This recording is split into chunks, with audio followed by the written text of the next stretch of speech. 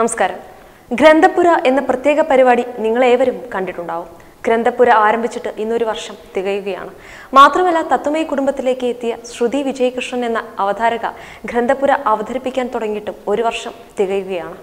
വളരെ മികച്ച രീതിയിൽ തന്നെ കഥയും കവിതയും ലേഖനങ്ങളും പുസ്തകങ്ങളുമൊക്കെ നമുക്ക് പരിചയപ്പെടുത്തിയാണ് ശ്രുതി വിജയകൃഷ്ണന്റെ ഗ്രന്ഥപുര ഒരു വർഷം പിന്നിടുന്നത്. ഇനി ശ്രുതി വിജയകൃഷ്ണൻ എന്ന അവതാരകയെക്കുറിച്ച് പറയാം. തത്വമയി അവതാരക മാത്രമല്ല പ്രോഗ്രാം പ്രൊഡ്യൂസർ കൂടിയാണ് ശ്രുതി വിജയകൃഷ്ണൻ.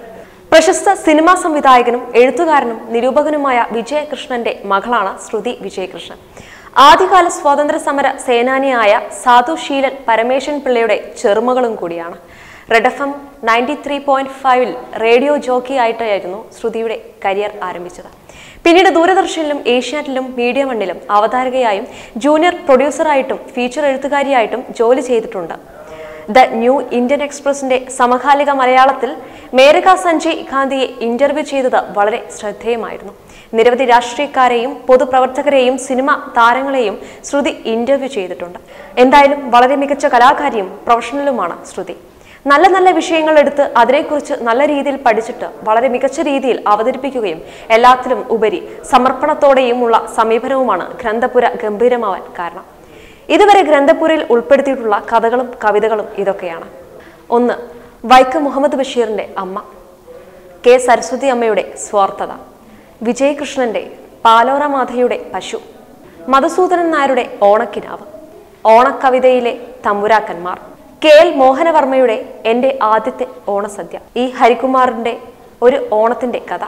കാരൂരിന്റെ സാറിനും പട്ടിക്കും. സ്വാമി പരമേശ്വരാനന്ദയുടെ ഇരുട്ടും വെളിച്ചവും. ചങ്ങമ്പുഴയുടെ വിനോദത്തിന്റെ ചാരം. മാധവിക്കുട്ടിയുടെ രക്താർബുദം. കാരൂരിന്റെ ആദ്യത്തെ കത്ത്. പുലത്തിൽ കുഞ്ഞബ്ദുള്ളയുടെ ഇന്ദുലേഖ. തകഴിയുടെ തഹസിൽദാരുടെ അച്ഛൻ. പി കെ നന്ദനവർമ്മയുടെ അക്കരെ. വിജയകൃഷ്ണന്റെ ഡബ് ചെയ്യാത്ത സംഭാഷണങ്ങൾ. സി വി ബാലകൃഷ്ണന്റെ ഒരു ചരമ അറിയിപ്പിനെ തുടർന്ന്. സുഗതകുമാരിയുടെ ഒരു പാട്ട് പിന്നെയും. പാർവതിചന്ദ്രന്റെ താമരപ്പാടത്തെ ശ്രീപാർവതി ഗ്രേസിയുടെ പാതിരാ നടത്തം. ആന്ധ്രേ ബുർസയുടെ പോളണ്ടിൽ നിന്നൊരു യക്ഷിക്കഥ. സ്വാമി പരമേശ്വരാനന്ദയുടെ ശ്രീരാമനും ദേശീയതയും.